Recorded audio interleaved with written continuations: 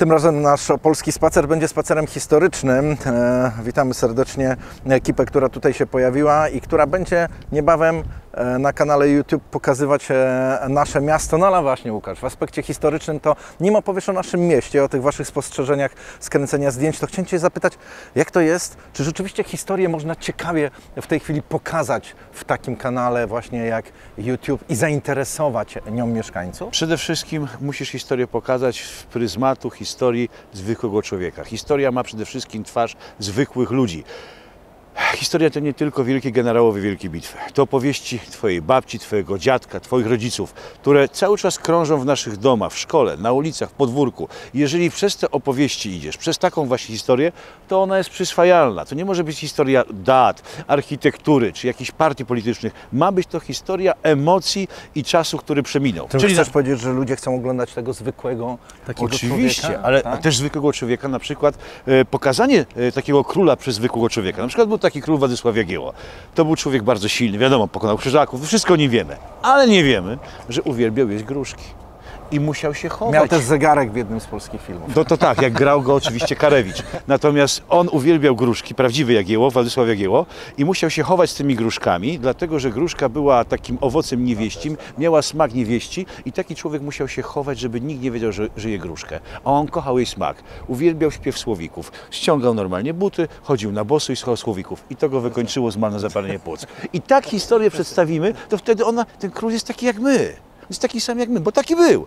Historia na przestrzeni wieków zmienia się poprzez wynalazki, poprzez modę, architekturę. Wszystko się zmienia. Co się nie zmienia? Ty i ja się nie zmieniamy. Nasze emocje się nie zmieniają. Ale zmienia się też jednak patrzenie, przyznaj sam, na, na rzeczywistość i patrzenie też, e, e, zwłaszcza młodego pokolenia, na to, jak oglądać. I tutaj jest to moje pytanie, jak ich zaciekawić. My robiliśmy bardzo ciekawy cykl z architektem Andrzejem Hamadą i okazuje się, że na przykład taki sterowiec nad ratuszem, Bez mega. wow! Ja bym zrobił. Jeżeli właśnie, o, historia poprzez zmysły. Musi być powiedziana poprzez zmysły. Więc jeżeli ściągnęlibyście na przykład replikę sterowca, który by stanął nad ratuszem i wisiał, to ci ludzie nie widzieli takiego czegoś. Oni myśleli, że to był balon. A wy byście wtedy o sterowcach opowiedzieli całą historię. I ona wtedy ciągnie. Ja robię na przykład festiwal kuchni polowych, gdzie pokazujemy historię poprzez zapach, węch i smak. A więc ludzie jedzą to, co na przykład armia napoleońska jadła podczas wyprawy Tak, na Moskwę. na przykład ta armia Z tych tu- samych, kroczyła. tu też kroczyła, dokładnie. No, a No. tutaj tam mamy takiego lwa, to jest A z jest. kolei lew skojarzony z k- królem Władysławem i potopem szwedzkim, bo tutaj, e, tutaj przechodził jadąc do Głogówka. No, Stąd też i, i następny podnik, po którym my sobie tutaj usiądziemy. Ale wracając do Waszej produkcji, Wy z kolei będziecie opowiadać o polu i o ważnych aspektach, chociaż będziecie mówić o Opeln jeszcze. No właśnie, jeszcze, będziemy mówić o Opole Opel, Jeszcze nie dokładnie. było Opolem. Nie, to było jeszcze niemieckie miasto i to będzie właśnie o. Generalnie nie zdradzamy nigdy tego, co będzie w odcinku, ale tutaj wyjątek zrobimy. Rąbeczek. Ja Rąbeczek. nie chcę, żebyś Jeden odcinek będzie o Nocy Kryształowej w Opolu. Była bardzo specyficzna, inna niż na przykład w Breslau, czyli we Wrocławiu. A drugi odcinek będzie o dowódcy e, Festung Opel, który popełnił samobójstwo, ale oczyma jego córki. Bo jego córka jeszcze w 2016 roku żyła i opowiadała jako 90-letnia staruszka bardzo ckliwie o swoim tacie że był przeciwnikiem Hitlera i że popełnił samobójstwo, bo nie widział sensu.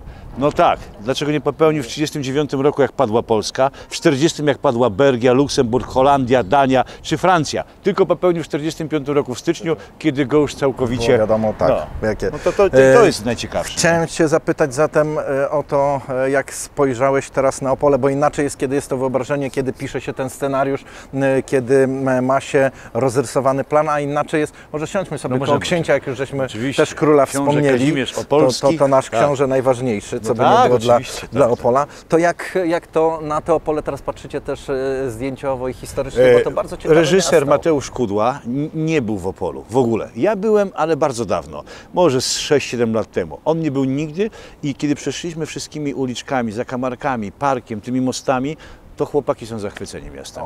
Bardzo im się podoba. A dla mnie ono się zmieniło niezwykle, jeżeli chodzi o odnowienie i odrestaurowanie tego właśnie, no można powiedzieć, serca, no tej, tej starości, tego no niemieckiego miasta. No taka historia była. Rozmawiamy o historii, zaczęliśmy, chciałbym tą historią zakończyć, dlatego e, że e, jesteśmy tak przytłoczeni rzeczywistością, teraźniejszością i, i przyszłością, że bardzo często zapominamy o tym tak naprawdę, jakie piękne mamy karty historii, bo Wy też o nich mówicie. Można w Waszych programach zobaczyć e, niezwykle ciekawe elementy, których tak do tej pory mówimy sobie, a rzeczywiście, a to wiedziałem o tym, ale już nie pamiętam. Jak tę historię zachować, chciałoby się powiedzieć, nie? Generalnie wszystko opiera się bardzo dużo na relacjach ludzkich, z pamiętników, z opisów, z tego pokazania codziennego, prozaicznego życia, ale także pokazania, jakie ludzie w tamtym czasie mieli wybory. I odcinek o, o dowódcy Festung Breslau jest właśnie o tych wyborach. Jest o tym wyborze. O tym, że można było dokonać wyboru różnego. On dokonał takiego, jakiego dokonał. No to co, wypada mi, żebyś Ty zaprosił też e, naszych widzów Czasu na Opole na Wasz kanał i na tę produkcję o Opolu. Zapraszam Was serdecznie na History Hiking. Jest to kanał YouTube'owy.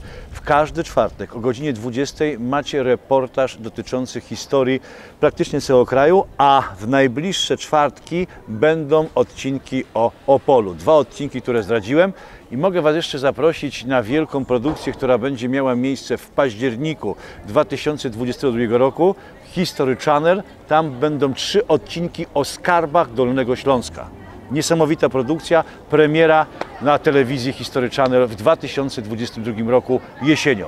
Także przed Wami no, ta, te, te lato i ta jesień naprawdę zapowiada się mega ciekawie. No to drodzy Państwo, odkrywajmy zatem te historie związane z Opolem, bo e, na pewno coś ciekawego w stolicy nie tylko polskiej piosenki, ale ciekawego kawałka historii Państwo odnajdą. Dziękuję Ci bardzo za Ja rozmowę. też dziękuję Do bardzo, zobaczenia. Donat. Do zobaczenia, pozdrawiamy. No.